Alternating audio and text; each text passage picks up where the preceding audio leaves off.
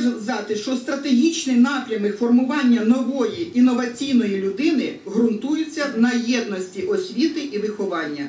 Дитячі бібліотеки є важливим соціальним інститутом, здатним ефективно і успішно здійснювати виховання юних громадян України. Це підтверджують і результати нашого наукового дослідження, які висвітлені у монографії Історія становлення і розвиток дитячих бібліотек України 19-20 століть Національної бібліотеки України для дітей. Етап фахових пошуків на шляху узгодження уроків інформаційної і медійної культури школярів з вимогами освітнього процесу був, викликаний кардинальними змінами у галузі вітчизняної загальної освіти. Впровадження державних стандартів і відповідно запровадження нових навчальних програм спонукали нас, фахівців Херсонської обласної бібліотеки для дітей імені Дніпрової Чайки, об'єдна- об'єднати зусилля колег у розробці і нових програм з орієнтування школярів і, звичайно, у напрацюванні нових уроків. Та шкільні бібліотеки у сучасному світі знань, простір читання, комунікації, додаткової освіти, грані праці та актуальні проблеми. У нас є, є сьогодні п'ять питань на, для обговорення. Діти у нас в країні найбільш читаючий прошарок населення, якщо на те пішло. Вони е, ваш е, труд не проходить даремно. Діти в нас найчитаючіші. Ви дуже стараєтеся, ви молодці. Ми теж в свою чергу письменники стараємося і намагаємося якісь якісні тексти е, писати, щоб їм теж було цікаво. Але з огляду на оце все разом, коли ми письменники стараємося і ви стараєтеся, і діти читають, а дорослі чомусь не читають. Ну, хоч ти лобом об стіну. Я не знаю, що з ними робити з цими дорослими. І коли ми беремо рейтинги міжнародні, соціологічні дослідження, і Україна займає одне з останніх місць читацьких, і слова про те, що Україна це найбільш читаюча країна, е, це, це міф. І отут виникла така у нас ідея, а давайте ми зробимо, щоб читали дорослі дитячу літературу. Не діти, а дорослі. В першу половину дня, як наголошує завжди Тетяна Васильівна у своїх виступах, діти знаходяться в школі і вчителі цьому навчають бути читачем, а в другій половині ту ж саму місію виконують наші бібліотеки.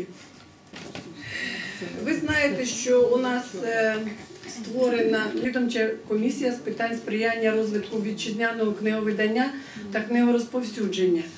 Е, Тільки в цьому році е, якраз цю комісію була очолена вона віце-прем'єр-міністром України. Такого високого статусу ця комісія набула тільки в цьому році. Це по-перше. По-друге, вже пройшло декілька засідань під головуванням віце-прем'єр-міністра України, і на цих засіданнях була розроблена стратегія, створені робочі групи для того, щоб дійсно працювати над розбудовою політики е, підтримання читання і сприяння вітчизняного книговидавництва. Потрібно е, зберігати культуру книжності, книжності як інтелігентності, як певного ставлення до життя. І е, ми можемо е, робити ці речі з дорослим, просто продумати, якщо держава. Це можуть просто на певний час бути залучені музеї, бібліотеки і так далі про підтримання книжності.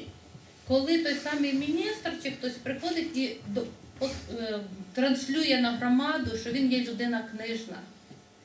Людина, яка мислить як книжник, як читаюча людина, в якої в голові є не тільки матеріальні проблеми, але й купа цитат і уявлень. Коли виходить директор, тобто це можна гарно обіграти, і це набуває такого красивого сенсу. От, тому що сама думка про потребу дорослого читання, вона дуже класна вчасна. Просто її треба додумати і перетворити в нормальний масив. Щодо пропозицій з боку держави. Мені здається, що я не, відкрию такої Америки, якщо скажу, що не можна долучити дітей до читання при відсутності книжок. Коли тиражі йдуть, ми он пані Наталя не дасть брехати, ми третій рік перебираємо девізо, тобто вручну. Всі книжки видані в Україні, це з приводу списків. Да? Вони не завеликі. Той короткий список, це кожна книжка переглянута. Питання в тому, що е, якщо книжка має тираж 300 примірників, ви до неї не долучите нікого, тому що її може прочитати 300 осіб. Якщо е, є зараз саме високі тиражі 2 тисячі, 3 тисячі, тираж 5 тисяч це вже щось таке неймовірне. Е, Його не вистачає навіть на те, щоб вона була в кожній бібліотеці і ще в когось вдома. Мені здається, що дитяча бібліотека е, це та платформа, на відміну від шкільної, просто тут стояла. Це та платформа, яка найбільш е, гармонійно поєднує зусилля громади і держави. Чому? Тому що дитяча бібліотека, на відміну від шкільної, яка підпорядкована е, вимогам шкільним, вона не може запустити туди, скажімо, релігійну організацію, да, чи політичну чи будь-яку. А в межах райцентру можуть бути різні організації, різні люди і так далі. То е, дитяча, вона більш вільна, вона більш відкрита, вона більш соціально навчена до роботи в різному середовищі, до можливості толерувати. І е, коли ми зараз хочемо говорити про те, щоб вчити читати, щоб проводити всі ці речі і залучати громаду, саме дитяча бібліотека як платформа до цієї роботи більш придатна. Запитання до пані Лариси. На початку вересня ви направили до Міністерства культури лист, у якому незаслужено образили всі дитячі бібліотеки, сказав, що вони нічого не роблять, не працюють. І тиждень читання. До речі, ви жодного разу його правильно не назвали, в нього є історія. Ви пропонуєте багато заходів перенести в будь-який час. Чому не додати ще щось, на вашу думку? І ще в мене питання: чим ви, яким досвідом якої дитячої бібліотеки ви оперували при складанні цього листа? Там немає жодного слова про те, що в нас немає тижня дитячих читань. Там на початку листа якраз викладена історія тижня дитячих читань, який існує у нас в країні. І я просто звернулася до міністра культури з про- з пропозицією, з проханням підтримати ініціативу провести його по-іншому.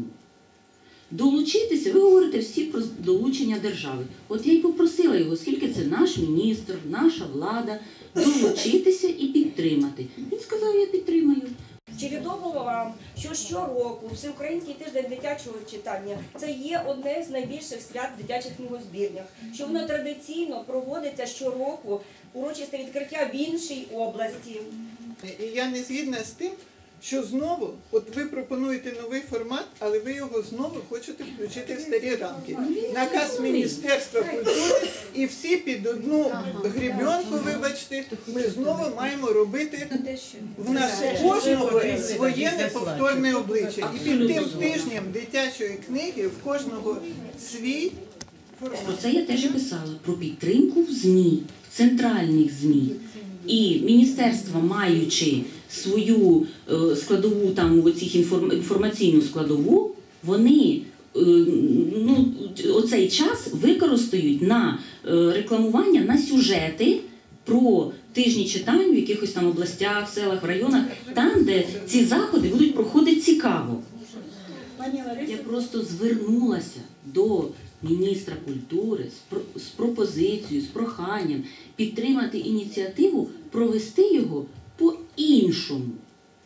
Долучитися, ви говорите всі про долучення держави. От я й попросила його, оскільки це наш міністр, наша влада, долучитися і підтримати. Він сказав, я підтримаю.